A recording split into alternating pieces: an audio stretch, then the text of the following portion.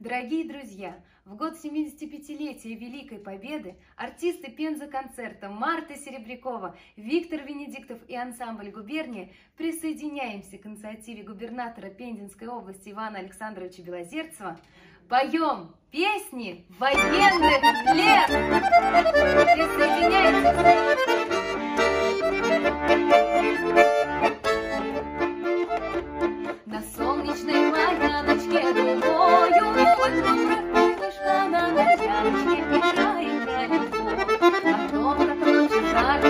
Thank you.